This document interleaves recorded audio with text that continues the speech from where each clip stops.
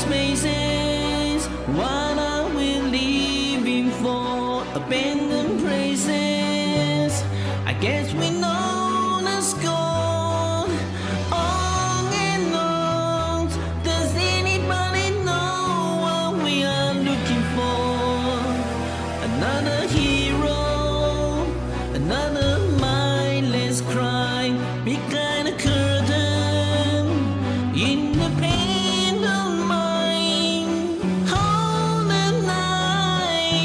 anybody wants to take it anymore.